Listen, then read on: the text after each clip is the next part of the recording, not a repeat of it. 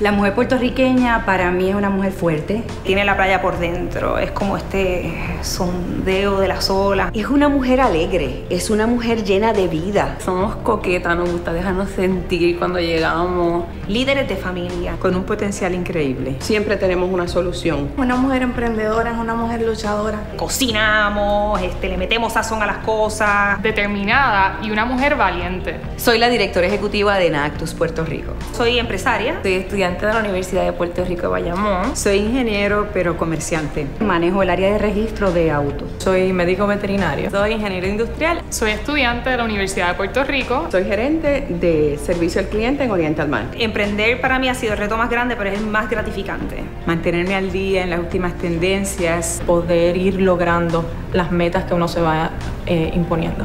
Mirar las cosas que ya hemos hecho y hacerlas de una manera diferente. Lo que me motiva a mí a seguir adelante es mi familia. Mi hija. Eh, ver esa sonrisa y esos ojos.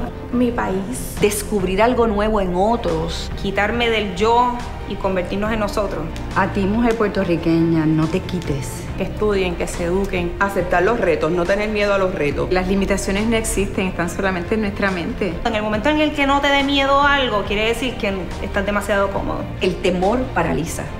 Pero si lo mides en ese espacio pequeño en el que sucede y decides lanzarte, no va a haber nada, nada que te pueda detener. Creen sus metas, creen sus sueños. Cualquier idea que tú pienses que sea la más pequeña puede cambiar el mundo. Mujer, atrévete. Tú puedes hacerlo. Tú puedes hacerlo. Reinvéntate. Planifica. Sueña.